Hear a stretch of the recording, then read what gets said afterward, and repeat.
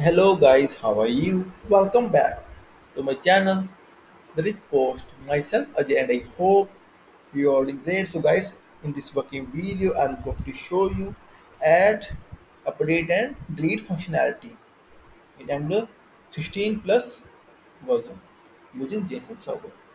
And guys, here is my JSON server web API.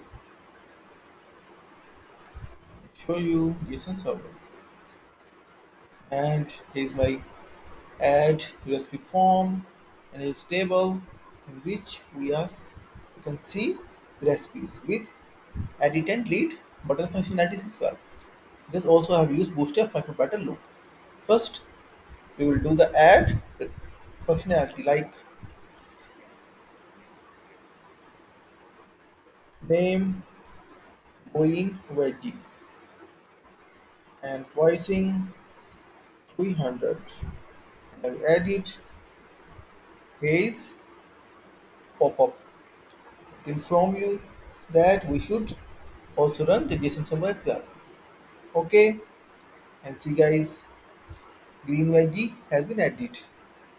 And now I want to update it. So see, if click update button, we can see the value here with update button. Pricing increases 320, update it. Guys, price has been increased 320 I can also delete it. See guys delete. And we can see here. I must delete this as well. Delete refresh delete. So we have you seen Angular 16 plus. Fluid application using JSON server is working well guys now I will show you code snippet as well. Here's code guys here's my source folder inside it I have placed inside app my API component in which I'm performing CRUD and his model for folder REST interface with all the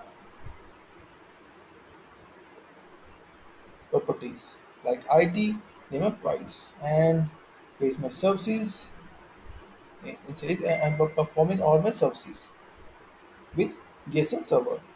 And guys, like always, I will share the code snippet link eh, inside this video description. And also, if you will have any kind of query, session requirement, then feel free to comment on this video. Also, please contact me via my blog.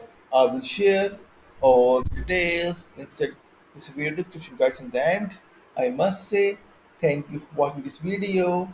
Thank you. Have a nice day. Take care. Bye bye.